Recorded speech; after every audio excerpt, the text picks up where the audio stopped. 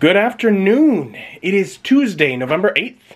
Skipped yesterday uh, after work. I got to play D&D with my buddies.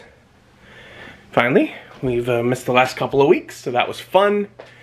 Um, and then uh, I also took off like three hours early from work today because I just have a lot to do.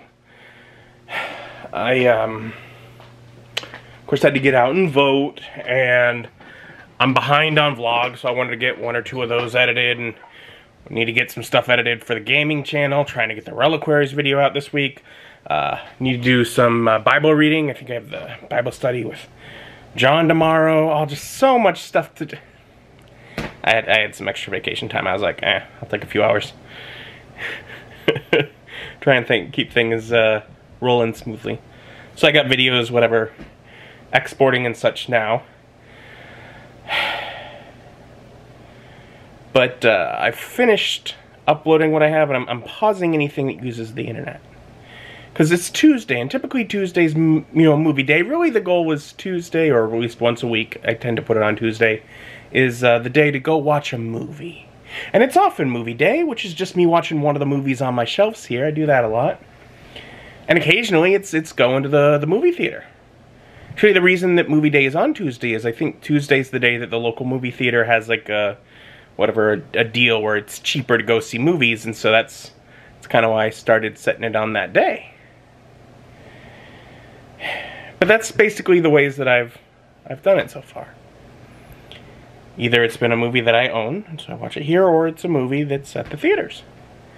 But they've been they've been promoting a movie that isn't coming out, at least not at this point. Hopefully, eventually, but not at this point to, to Blu-ray. But it's not going to the theater. They've been promoting this movie that it, it seems right up my alley. Um, looks really entertaining. I think I'd very much enjoy. But it streams through the Roku service because Roku apparently is still a thing. I'm talking weird. The Weird Al Yankovic story. That's that's what I'm talking about. and I'm like, okay, so I want to watch it.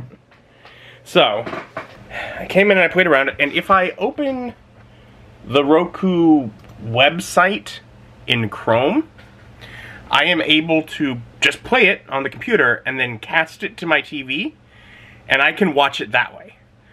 So, You know, it's not the, the, the simplest or most convenient. Like, I have smart TVs, but the Roku channel is not a channel on the smart TVs.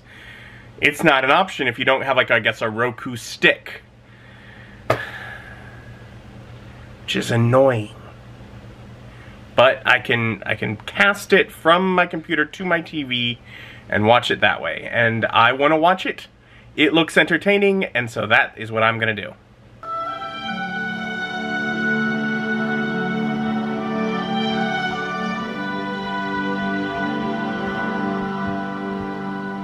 So that was weird, the Al Yankovic story. And having to make a decision and how do I rank this? Not so much what to give it specifically, but I do I do my movie day, movies I have purchased, own, physical media, as um, a 10 point system, but really it's a 100 point system because I use um, a, a, layer of decimals.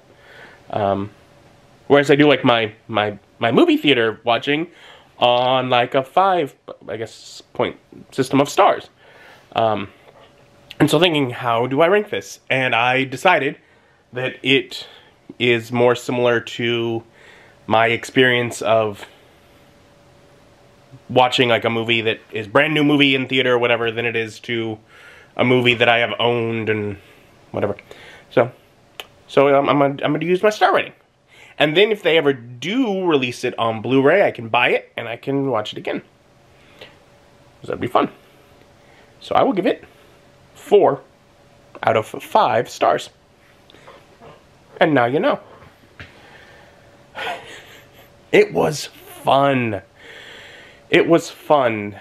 The what I am, you know, obviously mostly true story of Weird Al Yankovic.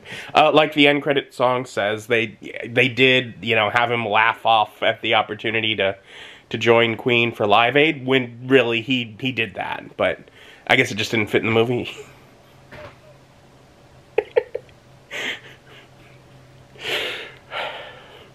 it was fun. Uh, when when real early in the movie we see Lin Manuel Miranda as um, the doctor. I'm just like like like really like the opening scene.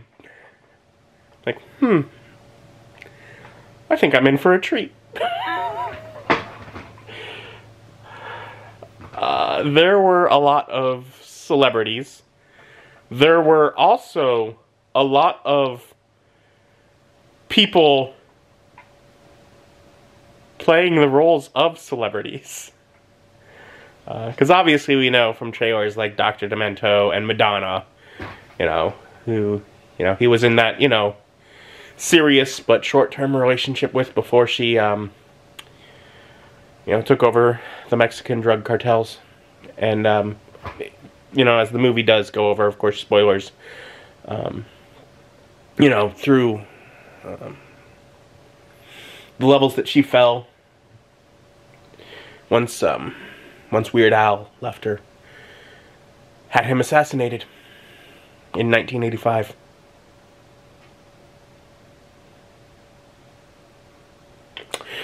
Unexpected ending, to be fair.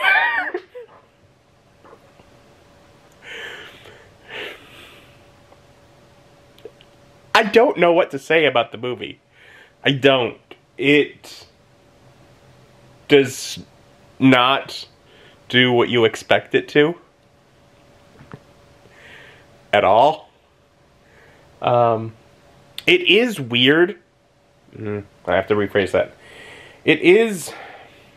It messes with my mind because they did the thing where they use the actual for you know Dan Radcliffe plays Weird Al, and he is the speaking voice. But the real Weird Al is still the singing voice.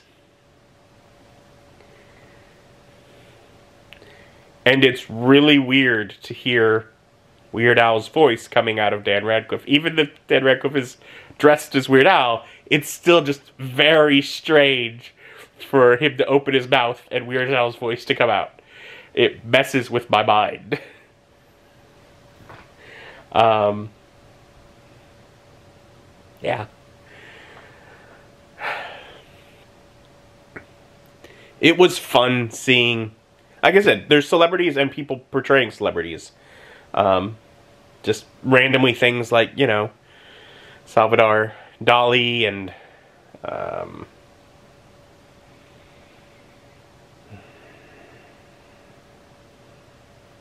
okay, my brain went blank. Anyways, at Dr. Demento's party, just the whole host of uh, celebrities that were totally there. Um, to like Madonna and Cyndi Lauper and whatever. Um, but then also things like Jack Black as whoever he was playing, or things like that. Um, you know, Lin Manuel Miranda, um, Weird Al himself, just sort of the little cameo roles throughout that were quite fun. Um, I mean, ultimately, if we have to tell, you know, what is this movie about? It's about a weird kid whose father wants him to work in the factory because that's a responsible job, but whose dream is to change the lyrics to popular songs and make up new lyrics while playing the accordion. And he moves on to become incredibly successful at his dream and then as he gets ambitious and decides to write his own music, songs like Eat It, we have other wannabe artists like Michael Jackson come along and parody his music very quickly so that people think it went the other way around, and so he's still known for parodying music even when he writes original songs. And it takes him down a bad path of alcoholism and betraying many who are close to him. He goes and kills a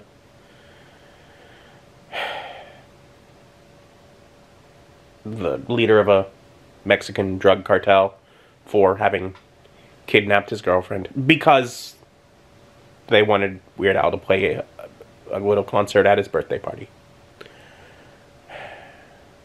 Loses the girl and goes back home, but manages to reconnect with his with his family and finally earn his father's approval